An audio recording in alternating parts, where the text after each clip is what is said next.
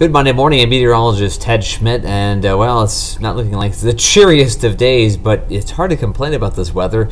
Uh, still a pretty quiet day overall, very tranquil weather. We've had some fog. It's not particularly dense fog, it's just a lot of low cloud cover, slight reduction in visibility, and what we're facing for the rest of the day actually is, is not half bad, really. Gray skies will be kind of the rule, but temperatures in the 30s this time of the year.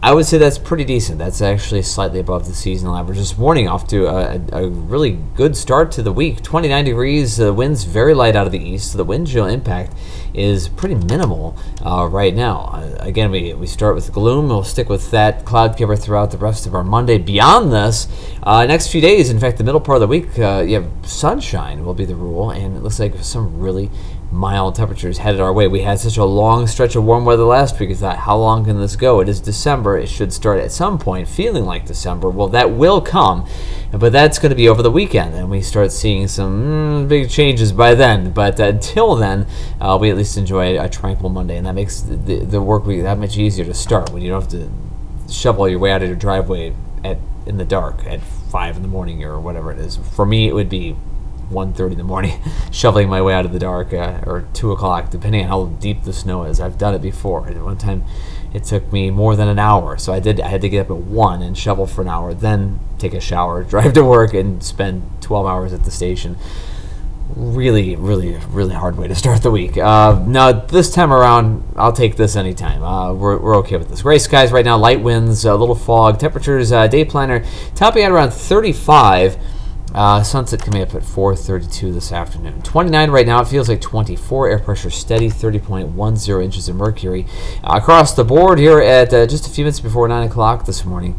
Uh, 28 in Preston. 29 Rochester, Mason City. 30 and it's 30 in Decorah, Iowa. There's a warm front to the west of us. It's going to take all day to get here. It's, it'll really move through tomorrow, actually.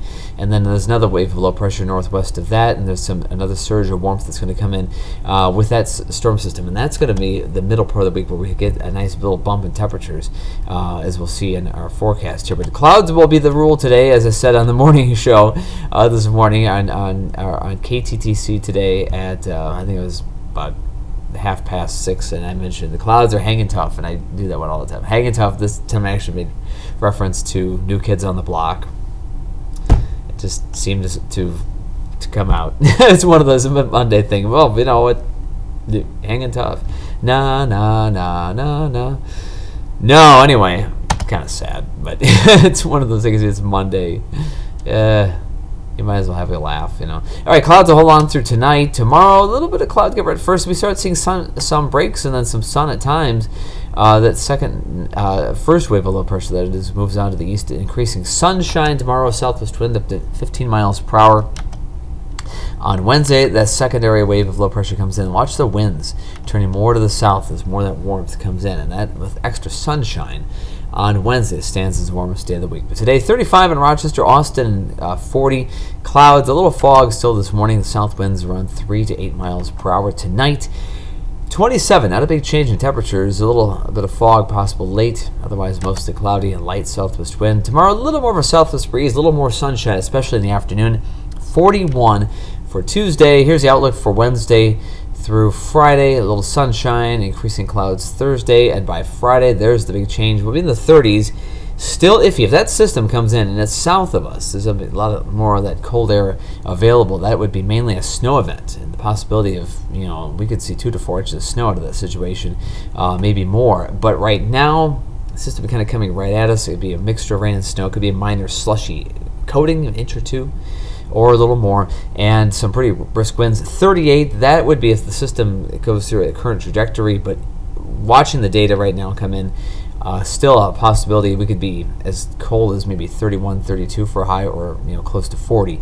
So some a lot of, lot of question marks to that Friday system, to say the least. So rain and or snow, and then on the backside of the system, as you'll see in the seven day. Uh, first, we'll look at this this the future track upper level wind chart. Cold air comes in for Saturday and Sunday, and it's going to stick around into next week as well. And see the numbers at surface level. Our surface highs will be. Uh, colder accordingly, uh, showing up like that. Temperatures, uh, rain and snow on Friday, a couple snow showers Saturday.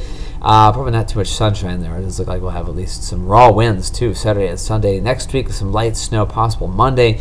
And further afield, looking down the road, and next Wednesday, there are signs that maybe then, that's a week from the day after tomorrow, we're talking way out there maybe uh, another storm system that could bring some snow as well. So about three individual storm systems bringing snow potential. A lot of people are asking, where is the snow? And now we're in the, the new week. We're looking ahead at the weekend and days beyond. We can start see them lining up, and there will be the possibility of snow accumulation Friday into Saturday on Monday of next week, and then next Wednesday, and then maybe beyond that, I think things may settle down for a while. But uh, some colder stuff certainly headed our way 20s and 30s, the highs this weekend, and, and the days beyond. And that, again, is more typical of December. Then the 40s, we're going to have most of this week, and then we had most of last week. In the meantime, uh, have a great day. Uh, enjoy the above freezing temperatures today, and uh, we'll see you back here on Tuesday.